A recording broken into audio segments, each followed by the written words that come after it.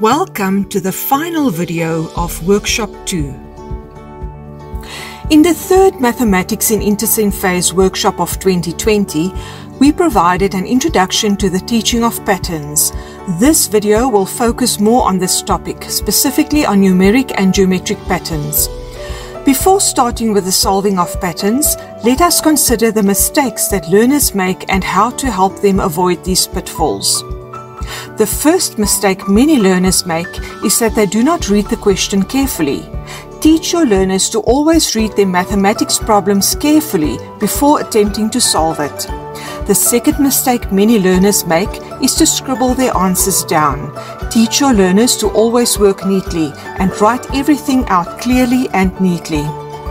The third mistake a lot of learners make is to think they know the answer and to solve the problem in a hurry teach your learners not to rush through a problem and to read the question carefully so that they are not misled by the first two numbers or shapes.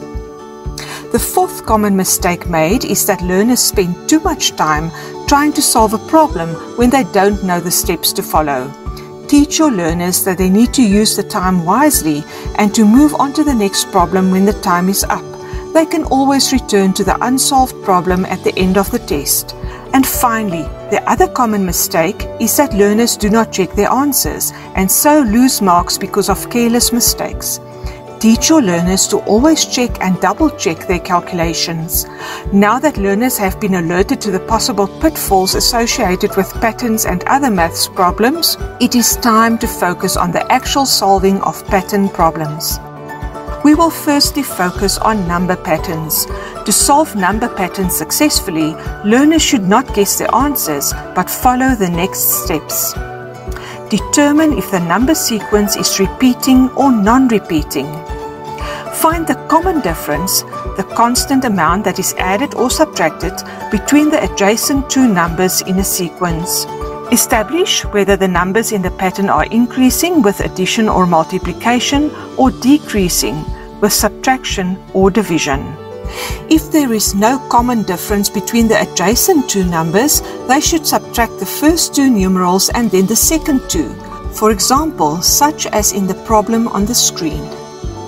On the next screen, you will see how to make use of a table to work out the solution to this number sentence problem. You will see that the last two numbers are 49 and 64 pause the video on the following screen if you'd like to copy this example to use in your classroom.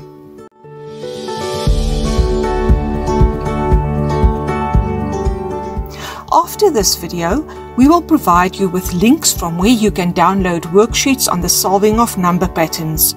But before doing this, let's all practice solving a number pattern example just for fun.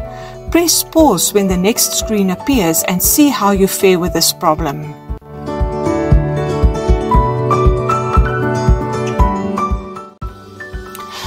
Did it go?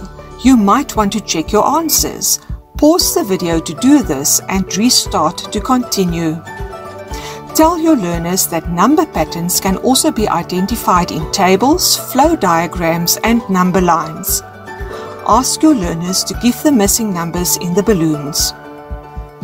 Emphasize the importance of the input number, the output number and the rule of a flow diagram.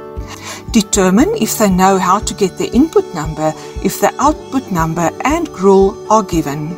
Remind the learners that number lines are also important.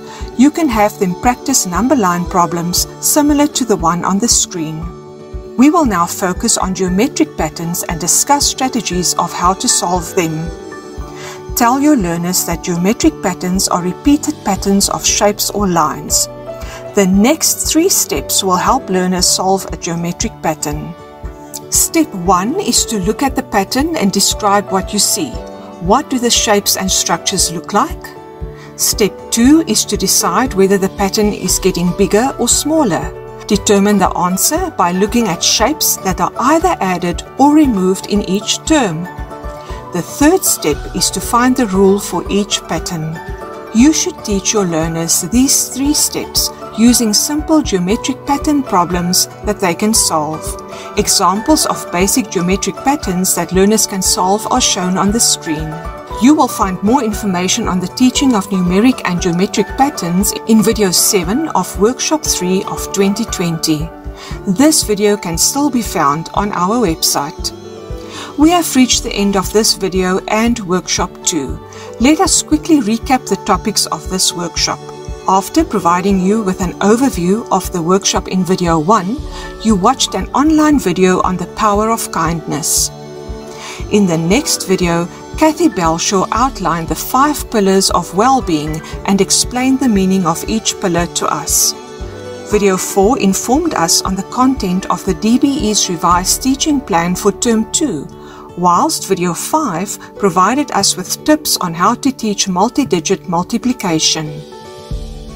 Video 6 was all about the teaching of long division and this video, video 7, provided guidelines on the teaching of numeric and geometric patterns.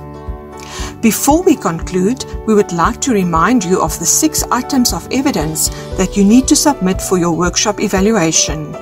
These appear on the screen now. On the next screen, you will find a link to complete quiz 4. Also remember to complete the online evaluation and workshop journal. We will ensure that you receive a hard copy of the journal. Thank you for choosing to be part of this workshop. We wish you well as you continue your teaching term.